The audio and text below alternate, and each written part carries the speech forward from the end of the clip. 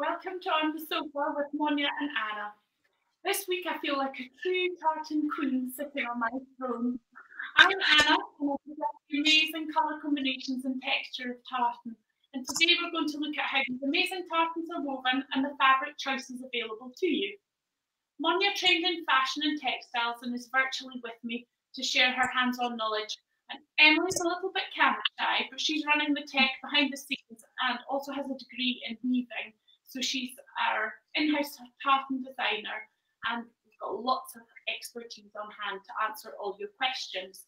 So add your comments and, and questions online and we'll just answer them as we go. Hi, I'm Monja and I work in our Edinburgh shop. Um, I studied fashion here in Scotland along with textiles both in Scotland and in India. The very first stage of weaving is the wool, the raw material that comes from the trusty sheep and is spun into yarn. Specialised spinning companies deal with this first stage and the yarn is then dyed to the correct shade for each tartan. Emily's got a few cones on the screen there for you. The subtleties between each shade are really hard to see for an untrained eye, but actually can completely change the look of a tartan. And that's why occasionally fabrics can be delayed if the dyeing process doesn't go quite as it should. The, the, dyeing process accounts for the slight differences also that you might see from mill to mill and the colours. If you want an exact match of an existing fabric, then you're always best to order a swatch and just double check it. Or if you know exactly where it came from, tell us the mill it came from and we can source it for you as we work with lots of different mills. And I've got here a good example of how these um, colours can vary. Is dress modern fabric. Um, and as you can see, the shades in the yellow are really quite different. So order a swatch if you want an exact match. Traditionally, yarns and fabrics were dyed with plant or animal based dyes, um, or even just different coloured lamb or sheep wool. And so tartans and Scottish fabrics had more muted and dull colours. Uh, this is also why the first tartans were thought to be just a two coloured check. So the photo Emily's got on screen there is thought to be the oldest still existing swatch of tartan. And you can sort of see that it's just two colours there, black and a sort of brown colour. Go on. Oh, hello to Tara and Haddington joining us. Um, so then in the 1860s, synthetic dyes were introduced to Scotland and the UK, and so brighter and darker colours appeared in fabrics. The red coloured dyes were the most expensive, which is why royalty and the upper classes chose to wear red based tartans to show off their wealth. Um, so Anna there has got the Stuart Royal tartan, um, so you can see that is um, mostly red with the check on top, and that's actually the Queen's official tartan. So I've got a few examples here as well of um, naturally dyed fabrics. So you can see that it's quite dull. This is sort of a as close to a red colour as you could probably get. And um, hopefully you can see particularly on this one here that the, the colours um, are not very consistent. So you wouldn't get a very consistent color across all of your fabric and it's not, um, yeah, you wouldn't get a very consistent color. Um, so, and you can guarantee you would get the same color every time as the different strengths of the batches would alter that. So now that we can get synthetic dyes, you're guaranteed to get one consistent color across all of your fabric and you can get the same color every time so you can you can match different items. So first up, um, yarns rolled onto bobs, which are cones like these ones here. And these are then loaded onto a big rack, which feeds into the warping drum. And what exactly is warping? Well, this is the process of keeping tension in the yarn. The drum spins round and round and creates the tension length before it's fed into the loom. So we've got a lot of people joining us. We've got Chris in Brittany. Hi. And uh, we've got all of our staff members watching from home. We're sorry that we've uh, not said hello to you in previous weeks. And hello to Thelma in Germany as well. So warping um, used to be measured in ells, where an ell is the unit of measurement from a man's elbow to the tip of the middle finger, which is very precise stuff. There were variations from country to country, with the Scottish ell measuring 94 centimetres, um, the French aune measuring 137.2 centimetres, and the German ell measuring 57.9 centimetres. Um, in England, the ell was usually 45 inches or a yard and a quarter, and this was this measurement was commonly used by tailors. And so the very fiddly bit comes next, and the different yarn colours are meticulously placed in order according to the design of the tartan. And the warped, still nice and tense yarns are passed through the loom lengthways, which is unsurprisingly called the warp. Then the weft is where the shuttle takes the yarn and weaves it across the design. And Our tartan's beginning to take shape. And I do have with me today a old shuttle, which you can maybe see here. And um, this bit here is called the pern, and this would come off. We'd wind the yarn round the pern, and then it gets slotted back in and pushed down like this. And then there's little holes in the end that the yarn would then be fed through. And this moves across the loom and creates the weft. So just imagine doing all of this by hand in days gone by. And there's still some traditional Dobby looms in operation. And if you visit Heriot Watt's School of Fashion and Textiles in Galloway you can see an amazing collection of old looms. And Emily's put one of them there on the screen for you. So this is where um, Emily learned to do all of her weaving and how to hand weave um, fabrics for the very first time.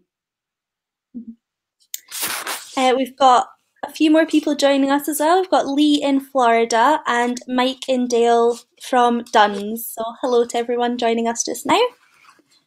Um, of course, uh, the, the shuttle flies back and forwards at an unbelievable speed, and the noise is quite intense, which all adds to the atmosphere and feeling that you're part of the creation of something very special. It's also a sharp reminder of how easily things could go wrong if things were set up incorrectly or threads snapped. I think Emily's got a picture there of some fabric in the process of being woven as well. So this fabric is really rigorous quality when it comes off the loom. Single hand and for any by hand, sorry, by hand for any irregularities and imperfections such as broken threads.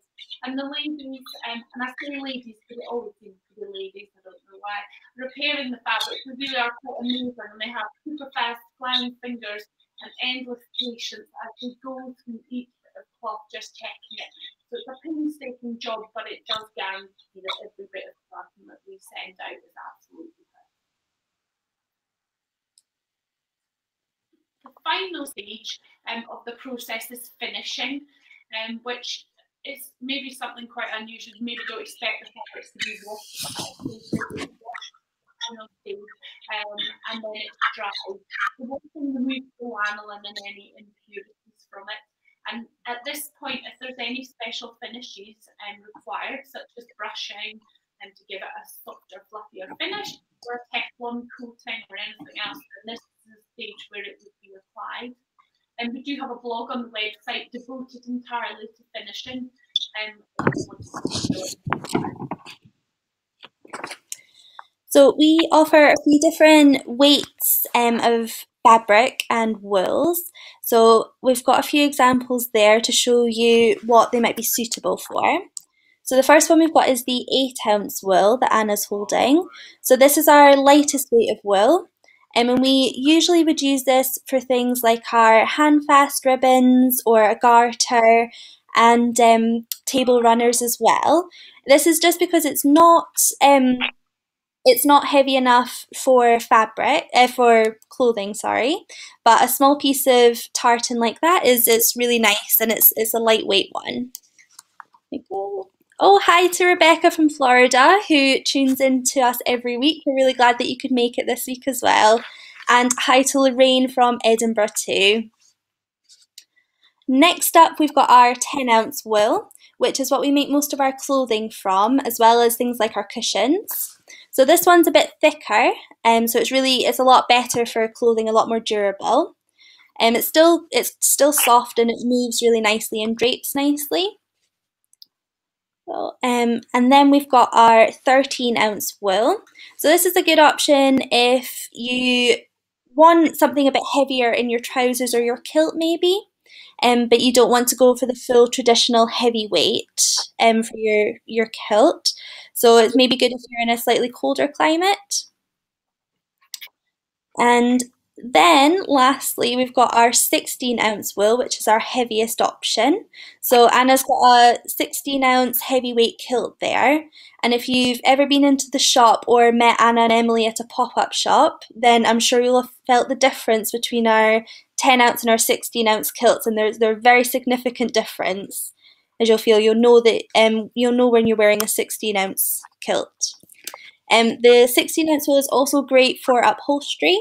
And the tartan throne that Anna's sitting on is actually upholstered in our Edinburgh tartan in a 16 ounce wool. There we go. and um, so, other than the wools, we also offer poly mixes. So, these are all machine washable fabrics. The poly cotton is nice and light, and so it's great for making tartan face masks or table linen. That's Anna's got some there. This is in a slightly more limited range of tartans and the, the checks are slightly different. So again, it's worth ordering a sample if you want to go for the cotton. The other option we've got is polyviscose. So this is hard wearing and it's very popular for children's clothing. And you might be surprised to hear, but also for car upholstery. And we've even supplied cloth to fit out a houseboat. And this is because it copes well with damp conditions.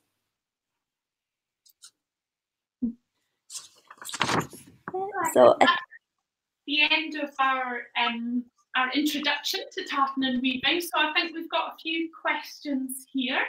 Um, Monja's in charge; she can see all the questions, so I'll let her take the first one. So we have Lee asking how she would know if she is a Graham. So she's a Graham, and she's asking how she would know if she's a Montrose or a Monteith Graham. So this depends very much um, how much you know about your ancestors and if you know exactly which area they came from. So the Grahams originated um, from the two different areas from Menteith and, and Montrose. So it, it, really depends how much you know about your ancestry and if you can trace that back and find out exactly which region, um, then what we can do a little bit, if you, Emily will maybe keep hold of your details and we can maybe do a bit more research and give you a hand to look into that if you like. Uh, Rebecca is also asking how you wash the different weights of wool. So the eight ounce wool you can wash on a you can do a machine wash on a wool cycle and we also recommend a wool detergent as well. The other weights are dry clean only, although a soft brush will get most things out the fabric. The wool is quite forgiving in that way. Um, and we also have Tara asking if the fabric for trousers is soft or itchy. So we would normally use a 10 ounce wool for, um, for trousers, in which has a nice soft finish. And we like to line trousers to the knee you can fully line them if you want them, but generally people have them just lined to the knee on the front, and then that's enough because it is really a very nice soft fabric. That one, if you're going for a really heavyweight trouser and you want a 13 or 16 ounce trouser, they definitely fully line those for you. Um, we have also been asked Oh, so um, we've also got some more info for Lee, who was looking if she's um, to know if she's a Graham of Montrose or Monteith. So we also suggest um, that the clan society might be able to help and give a bit more information on which area your, your clan maybe originated from, which would help with which type of Graham you are. So we've also got um, can I spray your can I spray my wool with a waterproofing or a water repellent spray. So we wouldn't really advise this in case the spray affects the colours in the fabric, or at least test it on a small piece first of all, as without checking all the contents of the spray, we can't guarantee it won't have an effect. And wool is shower proof um, and has a degree of waterproofing in it naturally, which um, helps keep the sheep warm and dry naturally with their wool. Oh, and we've got Tara asking another question. She's asking if you have a favourite tartan. Oh, I have quite a few favourites. That's why I never have my clothes made in. I'm wearing Stuart Black today, which I really like because it coordinates with so many different things and it's really smart and got a nice red lining on this jacket, so I like a bit of red. Um, I also one of my favourites that I, a jacket I wear a lot is a New York City tartan, which we have made for when we went out and did tartan in New York, and it's really lovely and soft greens and blues with like an orangey stripe through it. So that's another of my favourites.